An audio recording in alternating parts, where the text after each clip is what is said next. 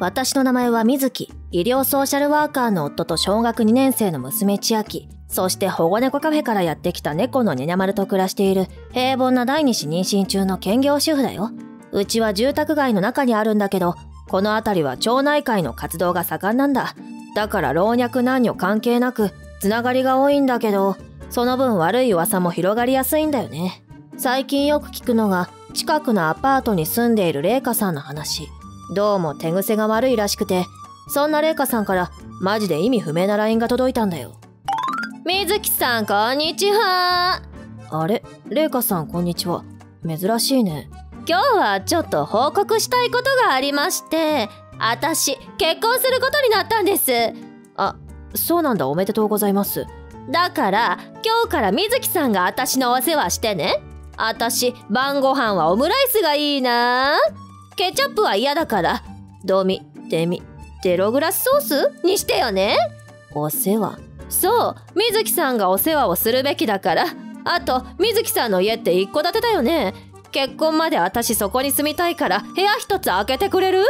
今住んでるアパート湿気がすごいし狭いんだよね。なんで私が玲香さんのお世話しないといけないの？だって結婚するんだよ。私世界一幸せな花嫁さんになるの。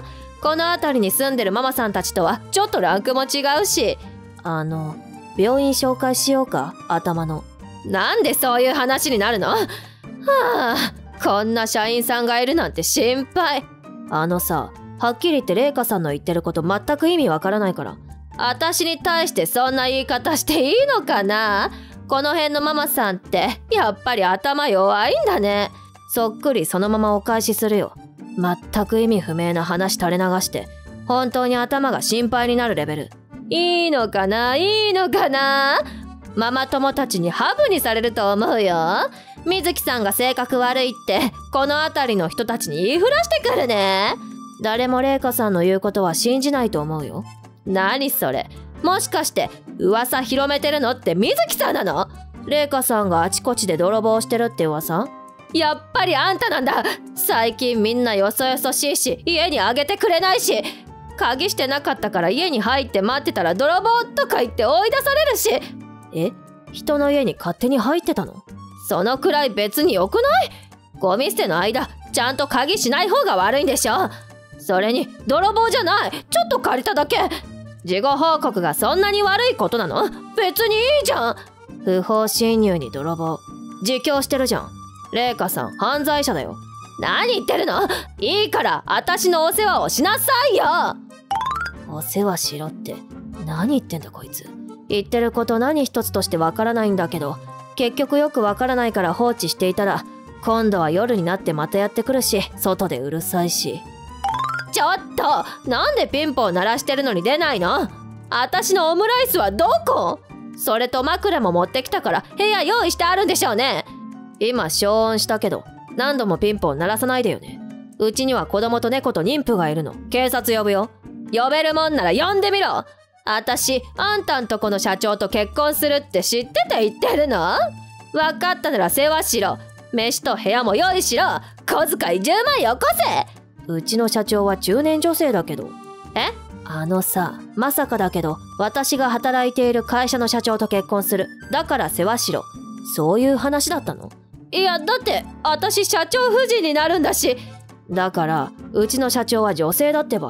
はあ？そんなの嘘。だって私見たもん。水木さんがなんかでかい漬物工場から出てくるところ。その工場に出入りしてる社長から交際申し込まれたの。プロポーズだってされたんだから。うちの社長はそのでかい工場とやらにはあまり行ってないよ。もう一つの小さな工場の方で自分でせっせと漬物をつけたり樽に入って転がったりしてるけど。えいやそれは意味わからないけどどうやってその男性と出会ったのかわからないけどさ。うちの工場には取引先の社長さんとかも出入りしてるからね。てか結婚するんだよね。そうだけど結婚する仲なのにその人がどういう人なのかわからないの。だってだってだってだって名刺とかないの？というか社名は？あえっとた樽山？みたいな会社だけど。あああそこの会社か。知ってるの？すごく高品質な漬物だるを作る会社の社長さんだよ。どこで知り合ったの？いや水木さんと同じ工場から出てくるのを見たからなんか水木さんの弱みでも握れないかと思って声かけたんだけど。本当に最低。別にいいでしょ？え私あのでかい工場の社長だと思ってたのに。ちょっとじゃああの人の会社ってどんな会社なの？確か社長さんがほとんど一人で作業をしてるはずだね。でお母さんが経理をやってくれてるって聞いたけどお父さんは週1くらいで手伝いをしてくれるとかなんとか。社員は？100人くらいいるの？いやあそこはご家族でやってるところだよ。少数精鋭って感じでさ品質のいいもの作ってくれるんだよね。ふざけんな。漬物だるなんて何でも同じだろって思う人もいるかもしれないけどさ。うちの社長はそういうのにこだわる人だからね。何でもあそこの樽はすごくしっくりくるらしいよ。しっくりくるって何の話かよくわからないけど。ふざけんなふざけんなふざけんな！そんなの聞いてない！え？こんな結婚やめてやる！家族で会社？どうせ貧乏なんでしょ？町工場で借金ごっそりあるんでしょ？いやあそこはもう絶対にありえないから。水木と社長信代の LINE ふんがががありえないのだわ。あそこの樽はしっかりぴったりフィットするのに。だから何にぴったりフィットするんだ？しかも設備投資分はすでに回収してあるみたいだし超健康な会社。それをどうせ貧乏とは悲しいのだわ。それにしても相手がどういう人なのかわからないで結婚するとはイケイケゴーゴーゴーだわね。そうですね。ところで水木さん今の働き方はどう？妊娠してから在宅仕事を増やしてもらえてありがたい限り。えっとなんだっけその？その？リリモリモリモ？リモ。リモコン？リモートワークです。うんががびー！そそうだったのだわ。これからもみんなにとって働きやすい会社を目指すのだわこの通りうちの社長はもともと私のママ友だった人なんだ。漬物名人として有名になった後に社長になって今は漬物をつけたり樽に入って昼寝をしたりしている不思議な人だよ。まあどう考えても麗華さんの結婚相手ではないわな。ママだし。ちなみに麗華さんなんだけど結婚相手に騙されたと食ってかかっていったみたい。相当ひどい暴言を吐きまくって結婚は破談になったんだけどこの元結婚相手さんちょっと面白い経歴を持ってる人なんだよ。1週間後。ややっぱりあんたなのね。もうそういうのお腹いっぱいだから。めんどくさ。だってあんたしかいないじゃない。実家にチクったわね。実家？そうよ。あいつにいろいろ文句言った録音とか近所の家にちょっとお邪魔したり物借りたりしたこととかそういうのそういうの全部実家にチクったでしょ。はあ？あのさ文句言った録音とやらをどうやって手に入れるわけ？普通に考えて誰がやったかわかるんじゃないの？でもあいつは私が近所で泥棒してたのなんて知らないし。今泥棒してるの認めたね。あー違う！違うの！違うのよ！私は泥棒なんかじゃない！ただちょっと物を借りただけで。そんな話通るわけないでしょうが。てかあなたこの間公民館でも泥棒したよね？知らない！監視カメラに映ってたらしいよ。そんなの嘘です。絶対にバレないはずです。公民館のお向かいに大きな家があるでしょ？え？うん。あそこの家玄関に監視カメラ設置してるんだよ。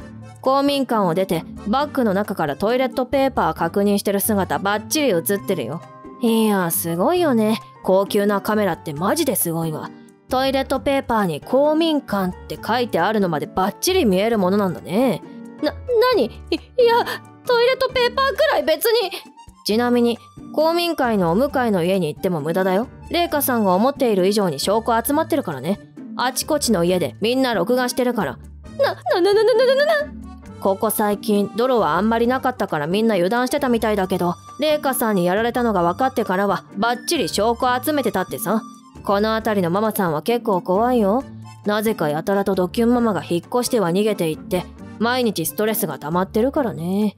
ち、違うの。ただの冗談というか。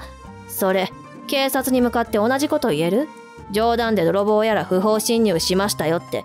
ま、待ってお願い交渉しよう。だって結婚して引っ越すことになってたからそれでちょっといつもよりやりすぎちゃっただけなの。ね、ね。そんなこと言われても私は被害に遭ってないし。じゃあ味方になってくれるでしょ？なわけねえだろ。どんな頭の中身してんだよ。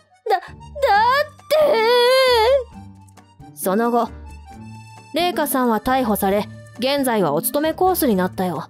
もともと手癖が悪い人ではあったもののトイペ1個とか個包装のお菓子をちょっと盗むってレベルだったんだって。だからみんな気づかなかったんだよ。でも結婚が決まってからはどうせ引っ越すからとヒートアップ。結果お勤めになるとはね。最初はどうだったにせよプロポーズまでしてもらったのに本当にパーすぎる。ちなみに麗華さんと結婚する予定だった社長さんは元探偵。麗華さんにあれこれ文句を言われて切れちゃってさ。自分で調査をした結果泥棒やらの証拠がごっそり集まったので被害者も集めてみんなで警察へって感じだったみたい。いやおっかねえ。でもこの人の作る樽は本当にいい樽なんだ。ちなみに最近は猫用の樽も販売してるんだよ。何でも信代社長が樽で昼寝をしているのを見てひらめいたんだって。うちのニャニャ丸も愛用中。おお今日もよく寝てるわ。最後まで見ていただいてありがとうございました。チャンネル登録高評価をお願いします。それでは次回の動画でまたお会いしましょう。